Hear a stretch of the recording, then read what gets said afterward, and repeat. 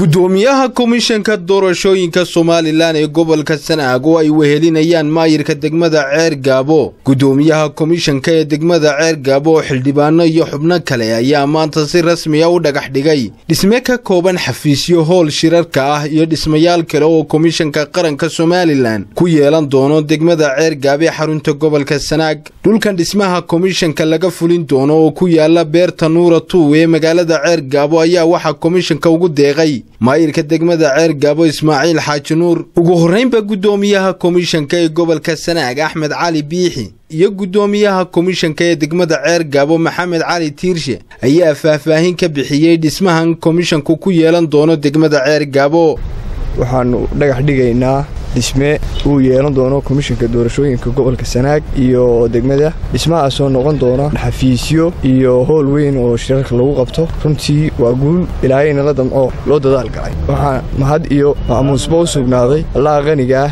ee inoo suurtageliyey inaynu maanta dhagax dhigno dhismaha kan. Waxaan kaloo u mahadnaqaynaa guddida komishanka doorashooyinka oo dadaal weyn geliyey. Sidii gobollada dalka uu komishanku ugu yeelan lahaa xafiisyo uu isagu leeyahay. Waa markii koowaad ee komishanku qaado tallaabo caynkan oo kale ah intii la aasaasay hay'adda komishanka doorashooyinka. Waa guul weyn oo u soo hoyatay komishanka doorashooyinka. Waxaannu kaloo u mahadnaqaynaa maayarka degmada cerigaabo oo dhulka intaa leeg ku deeqay komishanka ilaahay ka jisaay waanuna ugu mahadnaqaynaa. Insha allah biidmillahi kariim waxaannu rajaynaynaa in doorashada aynu ku qabsan doonno goobtan maanta la dhagax dhigay dadka reer sanaag degmada ceergaabo weliba waxuu hadhay few days dhowr cisho u hadhay diiwaangelintii waa gebagebo jimcaha la soo xidhayaa. Marka waxaan odhan lahay ka faa'iidaysta intaa cisho hadhay. Dee maanta alxamdulilah rabbilcaalamiin mar haddii ilahayna waafajiyey. Xafiiskii inaanu dhagax dhigno. Komishinka qarankana waxaan aad baan uga mahad celinaya arrinka ay ku dhaqaaqeen. Ilaahay subxaana wa tacala waxaan ka filaya in uu arrinka inoo dhammeeyo. Doorashadaananu ku qabsanno insha allahu tacaala. Aad iyo aad baan u soo dhoweynaynaa. Dhulka uu bixiyey maayarka uu siiyey komishanka qaranka kaas oo wax badan ka tari doona baahiyaadka komishanka qaranka.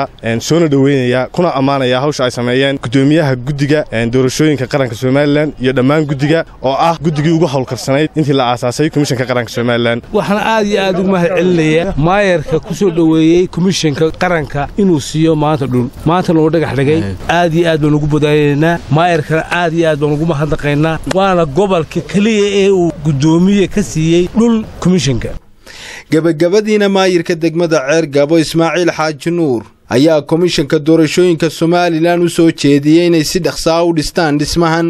Waxayna weydiisteen komishanka qaranku xarun ay ka sameeyaan degmada ceergaabo waanuu oggolaannay maantana aanu dhagax dhignay oo aynu iminka joogno. Waxaan leenahay insha allahu tacaalaa aan rajaynaynaa inaanu noqon inaynu dhagax dhigno oo ka tagno. Waxaan ku adkaynayaa komishanka haddii ay dhaqso u bilaabi weydaan mashaariicdu iska fara badan tahay. Meel istaraatiiji ah inaad ku dhaqsataan haddii sidaa ka daahdaan dee mashruuc kala qaadan doonaa waa markii u horraysay ee hay'adda komishanka qaranka somalilan xafiis rasmiya ku yeelato.